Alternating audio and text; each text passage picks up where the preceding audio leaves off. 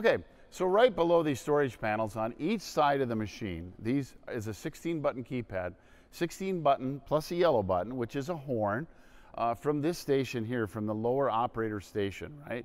The only thing we can do with this horn is alert the operator. The operator has a horn button up there which will sound at the end of the conveyor, but we don't want to do that from down here because sometimes the operator uses that horn to signal the truck of when to pull ahead or stop, okay? So this one here only alerts the operator. It's communication between the ground man and the operator. Next, we have leg controls, right? Leg controls are very important. Uh, this is our, if you notice it's whited out. If the, the icon is whited out, that means that's what it controls. So this particular one controls the left front leg. This one controls the right front leg.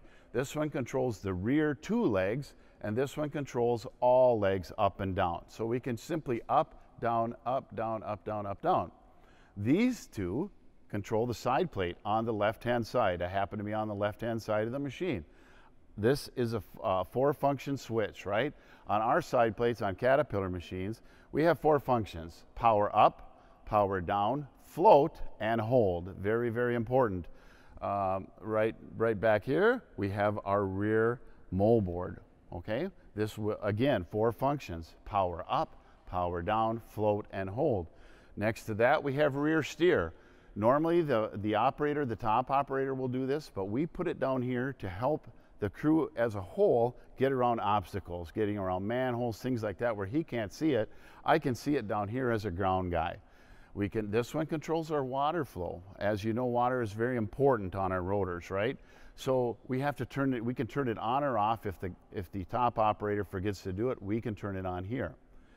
If I have happened to use these buttons uh, for the operator to get around an obstacle, uh, and I don't know exactly where straight is, I can hit this button it'll turn the tracks straight forward. Okay?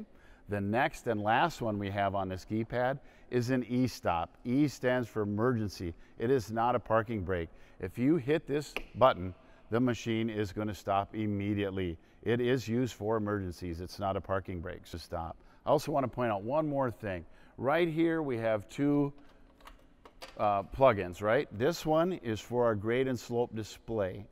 Below it, we have another one where we can put a sonic sensor. Like we talked about earlier, this machine is uh, uh, capable of running sonic averaging, right? So we can have a sonic sensor in the back, we can run off the side plate in the middle, and a sonic sensor in the front. What's that going to do for us? It's going to give us a smooth ride before that paver gets there.